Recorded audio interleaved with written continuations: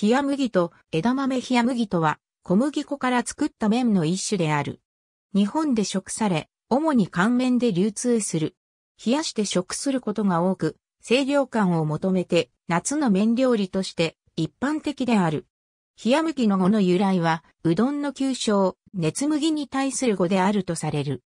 口述のように現在は、日本農林規格で太さによりそうめんなどと分類される。乾麺については小麦粉に食塩と水を混ぜてよく練った生地を帯状に細く切って乾燥させる製法で機械にて製造しているものは機械麺に分類される。小麦粉に食塩と水を混ぜてよく練った生地に、でんぷん、食用油または小麦粉を塗り付けして、よりをかけながら引き伸ばして、乾燥、熟成させる製法で、手延べ干し麺の日本農林規格を満たしたものについては、手延べ冷麦に分類される。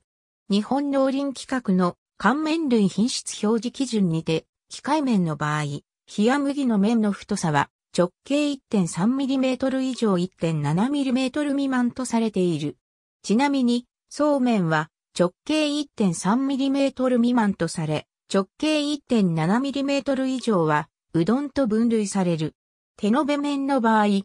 麦もそうめんも同基準であり、直径が 1.7mm 未満で、丸棒状に成形したものが、手延べ冷麦もしくは、手延べそうめんに分類される。ちなみに直径が 1.7mm 以上で、丸棒状に成形したものは、手延べうどんに分類される。乾麺の生産量は昭和40年代までは8万トンを維持していたが、昭和50年代に入ってから急激に減少。昭和60年代に一時的に増加したが、平成に入っても減少傾向が止まらず、平成10年代では昭和40年代の1、4である2万トンにまで落ち込んでいる。乾麺類生産比率において長い間そうめん、うどんに続く地位を維持していたが、1993年には日本そばに追い抜かれるなど年々縮小傾向である。生麺、茹で麺等については、生麺類の表示に関する構成競争規約にて、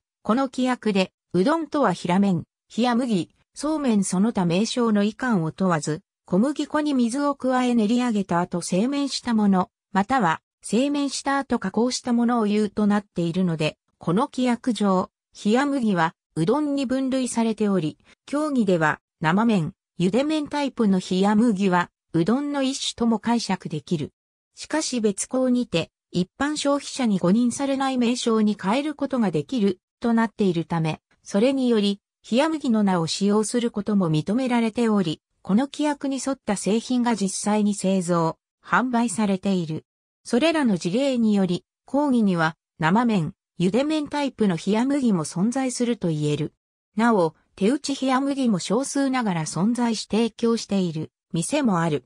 機械麺が一般化する以前は、そうめんは手延べ工程により生地を細くするため断面が丸く、冷麦は生地を薄く打ち伸ばしてから細く切るため、断面が四角になっているという見分け方もできたが、現在の冷麦は、そうめんとほぼ同じ製法で作られているため、この見分け方法は不適となってしまった。またそうめんと食べ方が同じことや、食感も類似していることから、一般的には、うどんより、そうめんの一種として扱われるようになっている。日本にて細い麺を食べる文化は、奈良時代の初期に中国から伝えられた作餅、麦縄から始まったという説が広まっているが、その具体的な形状がよく解明されておらず、長い間手伸ばし、手延べの麺と考えられている。現在のそうめんに近いスタイルのそうめんが普及するようになるのは室町時代に入ってからであるが、その時代の文献には新たな製法、包丁などの刃物で切って作る麺が登場した。一条金吉が書いたとされる釈草往来には、そうめんは熱蒸し、節麦は冷卓との一節があり、当時そうめんは蒸して熱いところを食べるのが主流で、節麦は冷やして食べるのが主流だったと伺える。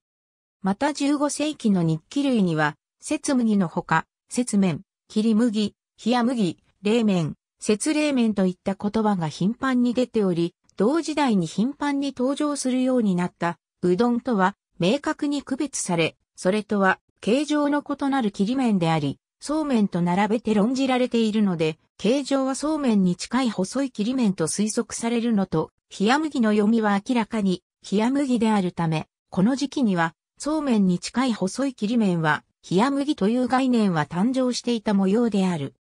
時代が過ぎ、元禄10年の本草書、本朝食感では、うどんは寒い時期のものであり、冷麦は暑い時期に良いとの内容で書かれており、この時代には、うどんと冷麦の季節による食べ分けが定着していたと推測される。他には、小麦粉を水で練ったものを細く切り、茹でて食べるものを切り麦と呼んでいたが、これを温めて食べるものをうどん、冷やして食べるものを冷麦と分けたから、さらに、うどんが温かさを保つために太くなっているのに対し、冷や麦は、そうめんと同様であり、茹でて、氷水や流水で冷やし、ぬめりを取るため、揉み洗いをした後、麺つゆにつけて食べるのが一般的である。茹でる水には塩を入れない。これは麺に含まれる塩分を出すためである。細い麺であり、他の味が移りやすいため、できるだけ良い水で洗い、手油を避ける必要がある。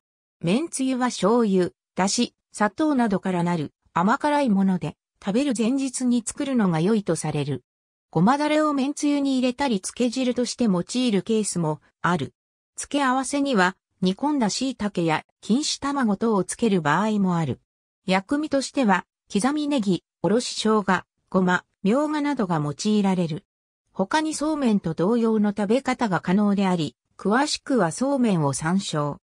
冷麦はそうめんと違い、西日本一帯では知名度が低いとも言われている。東京近郊の蕎麦屋では、冷麦は蕎麦と茹で上げる時間がほぼ同じであることが多いため、夏場にはそうめんではなく、冷麦を強している場合が多い。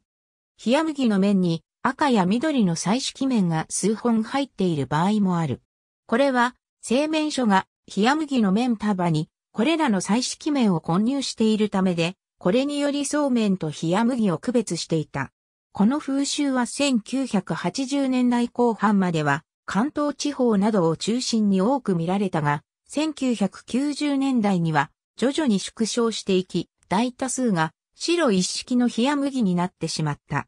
しかしその一方で、イボの糸など一部の製造業者が現在でもこの風習を続けている。